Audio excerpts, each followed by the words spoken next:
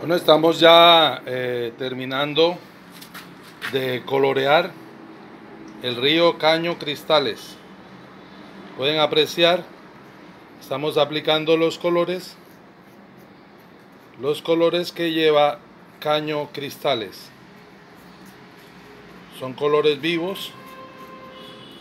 Estas son las algas. Vamos a apreciar aquí